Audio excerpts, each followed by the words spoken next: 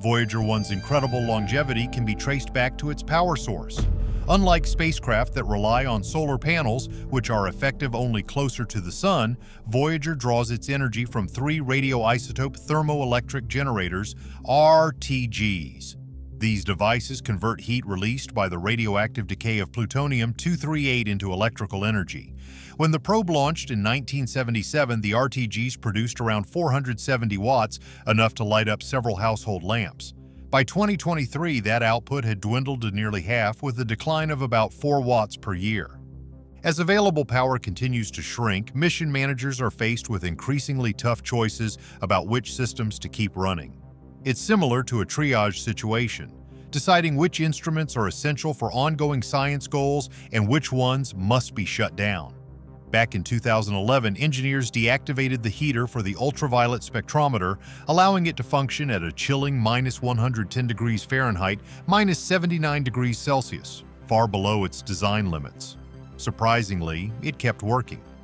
Inside NASA's Jet Propulsion Laboratory, the Voyager Mission Operations Center straddles multiple generations of technology, Sleek modern screens sit beside decades-old hardware, still in use to stay in contact with the distant spacecraft. Some team members hadn't been born when Voyager lifted off. Others have spent their entire professional lives working on it. Many compare their role to caring for an aging but cherished family member, recognizing its frailty while being amazed at its endurance. Twice a year, Voyager 1 must execute a roll maneuver to keep its high-gain antenna precisely pointed at Earth. These adjustments consume precious hydrazine fuel, an irreplaceable resource. It's estimated the probe has enough left to maintain orientation control until around 2040. Still, dwindling power will likely end the mission before that point.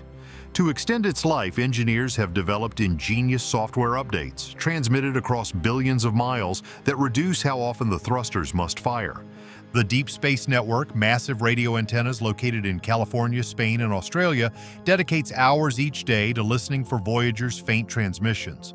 After traveling for over 21 hours, these signals arrive barely above the background noise of the cosmos. Specialized processing techniques are used to extract intelligible data from what otherwise resembles static.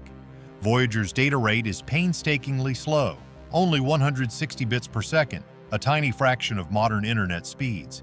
Yet despite its limitations, Voyager 1 continues to collect critical data. Its cosmic ray sensor detects high-energy particles originating from beyond the solar system. The plasma wave instrument measures electron densities in interstellar space. Meanwhile, the magnetometer tracks invisible magnetic fields between the stars.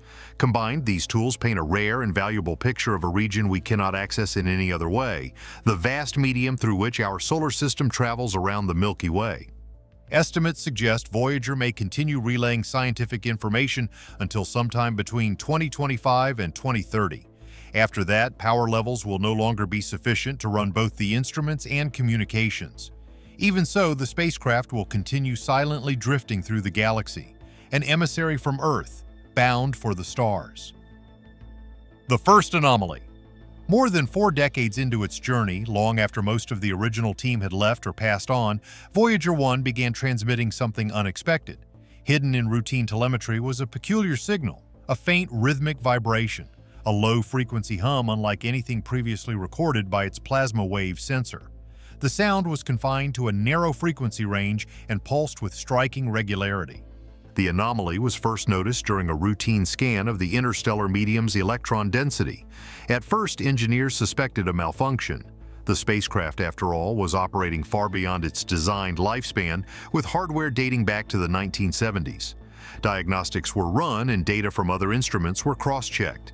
Yet the strange hum remained and was picked up by various receivers within NASA's Deep Space Network. Suddenly, what had been a routine operation took on a tone of urgency.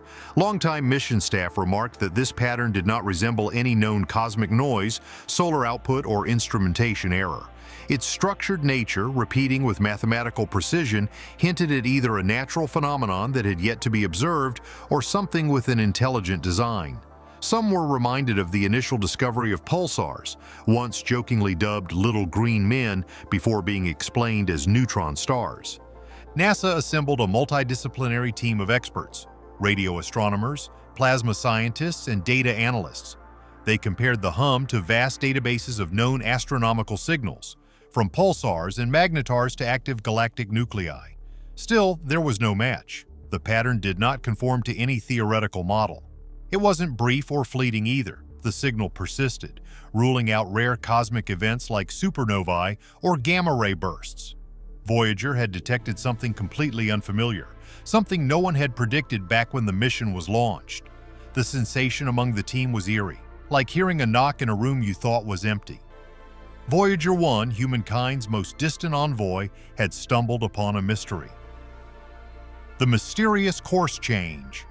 Soon after the detection of the mysterious signal, another oddity surfaced in Voyager 1's telemetry. The spacecraft had subtly changed its orientation, this shift in attitude occurred without any instruction from Earth. Data revealed thruster activity, but no commands had been issued from mission control. Initially, engineers examined old backup procedures that could have been triggered automatically, perhaps a long-forgotten script buried in the system. They reviewed fail-safe routines designed to kick in under critical failure scenarios. None explained the maneuver. More curiously, the thruster firings were not random. They followed a calculated pattern that changed the probe's direction in a controlled way. Even stranger was the new orientation itself. Voyager had turned its inactive camera platform toward an unremarkable patch of sky, one that held no prominent stars, galaxies, or known objects of interest. It appeared the spacecraft was now pointed at something undetectable by our most powerful telescopes. The timing raised eyebrows, the orientation shift occurred just days after the hum was first picked up, suggesting a link. Could these two anomalies be separate coincidences, or were they part of a single phenomenon? Statistically, it seemed unlikely that they were unrelated. Back at JPL, mission analysts worked around the clock. The air was thick with tension, the constant hum of electronics, and the aroma of brewed coffee filling the room. Trajectory models, system logs, and past telemetry were reviewed in exhaustive detail. One by one, conventional explanations were ruled out. The change in orientation wasn't momentary. It held steady for weeks, indicating it wasn't a glitch or temporary drift. The maneuver had been real, deliberate, and permanent. Whatever prompted the course change appeared to have genuinely altered Voyager's path through the stars. Patterns in the data. As scrutiny of the hum and the trajectory shift deepened, researchers found a new irregularity. Voyager's radio signal carried subtle changes in pitch and timing. Variations that once analyzed displayed repeating, recognizable patterns. These weren't distortions caused by the interstellar medium but appeared to be structured data. When charted visually, the patterns took on geometric shapes, recursive sequences, and balanced intervals. Some resembled reflections of Voyager's own signals, as though something were echoing or imitating the spacecraft's communication style. The modulations were consistent across different transmissions, eliminating the chance of a one-time fluke. NASA brought in specialists in cryptography and machine learning. Sophisticated pattern recognition software was deployed to compare the modulations against everything from natural space phenomena to known mathematical codes. A chilling discovery emerged. Parts of the pattern bore resemblance to segments of the Arecibo message, humanity's own radio transmission sent toward the stars in 1974. The scientific world was split. Some believed the signals had natural origins. Perhaps Voyager had passed through a rare plasma field or an unusual magnetic region affecting its electronics. But others couldn't ignore the organized, intentional feel of the signal structure. It was too regular, too intricate. Private conferences and academic debates exploded with theories. Some physicists proposed new models of how space might interact with spacecraft electronics. SETI researchers debated the implications if the signals were of intelligent origin. Skeptics developed layered technical models to show how system failures might simulate artificial-looking signals. Officially, NASA kept a reserved tone. The signal was labeled an unexplained pattern under analysis. But internally, many scientists were baffled. No conventional theory could fully account for what they were observing. The mystery soon became a global effort. Universities, observatories, and labs around the world joined the analysis, offering fresh perspectives and analytical tools.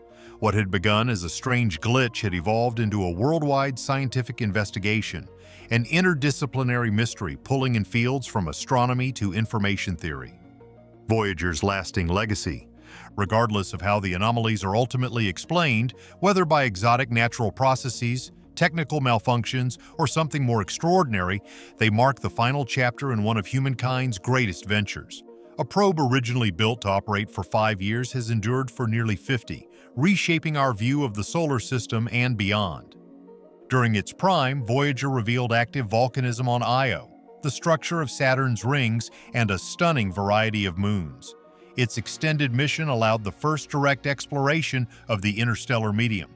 Even in its final days, it sends back priceless data from a region we cannot explore any other way. Voyager's legacy goes beyond science. The golden record it carries is humanity's longest-lasting cultural artifact, a time capsule that could outlive Earth itself. The iconic pale blue dot image forever altered our sense of place in the universe and the spacecraft itself, a 1970s machine still functioning at the edge of the solar system, stands as a tribute to human determination and creativity. Even if the recent anomalies prove mundane, they've already pushed scientific boundaries by prompting new models and analytical techniques. If they are truly unprecedented, they might force us to rethink what we know about space itself. In both cases, knowledge is gained, and that is the essence of exploration. Voyager 1 will continue silently coasting through space long after its systems go dark. In about 40,000 years, it will come within 1.6 light-years of the star Gliese 445. Barring an unlikely collision, it will drift through the galaxy for billions of years, perhaps long after humanity has vanished. Its golden record might one day be all that remains of our species. What did Voyager encounter in the void? Why did it shift course? What encoded the patterns in its transmissions? These questions may never be fully answered, but in asking them and following this tiny probe across unimaginable distances, we continue the timeless human pursuit of the unknown. Voyager reminds us that there are wonders in the cosmos we have yet to understand, and that the journey itself is the greatest discovery of all. Thanks for joining us for this episode. Don't forget to click the video on your screen now to explore more mind-expanding content.